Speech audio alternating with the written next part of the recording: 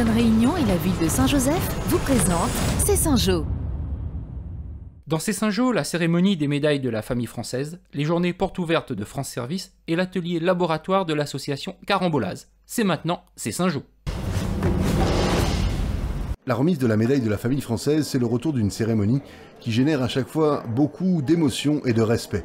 Respect pour ces familles nombreuses, jusqu'à 11 enfants parfois pour cette promotion 2021. La médaille à peine épinglée, on sent toute la reconnaissance. Ah, beaucoup de joie et le présent avec toute la famille et, monsieur le maire et tous les, le personnel.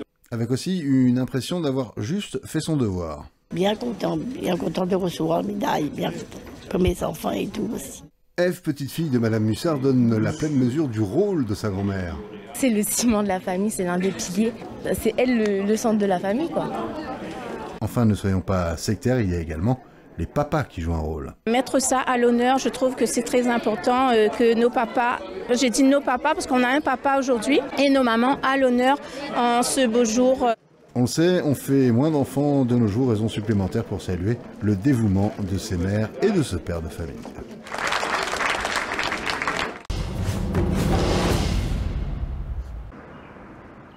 Les deux maisons France Service de Saint-Joseph, les Lianes et Gentil, font porte ouverte durant une semaine.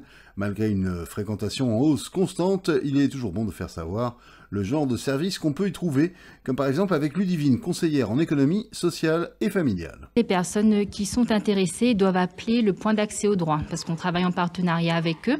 Donc c'est le 02 62 56 18 56. Et du coup, ben, en fonction des disponibilités des personnes, on fixe des rendez-vous.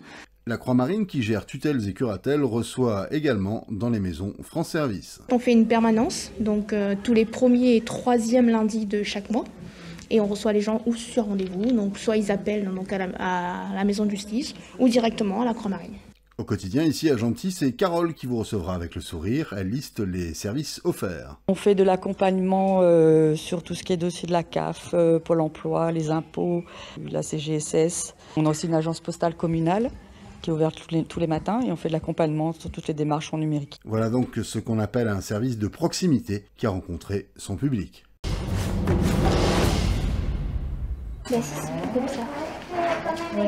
Faire travailler l'imagination des enfants par la voie de l'expression artistique et graphique, tel est l'objectif des ateliers laboratoires proposés par l'association Carambolase. On est en train de préparer une affiche on a choisi un thème contre, un peu contre la pollution. Après un travail de réflexion et d'écriture sur les messages apportés, les jeunes passent à l'étape de création graphique encadrée par une professionnelle. L'idée, c'est d'essayer d'avoir des messages positifs pour essayer d'améliorer nos comportements à venir pour que notre planète aille mieux.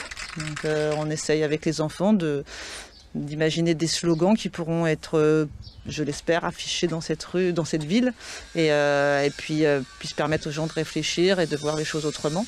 Un atelier stimulant pour les enfants participants qui passe par toutes les étapes de la conception à la réalisation, un véritable laboratoire d'idées pour la planète.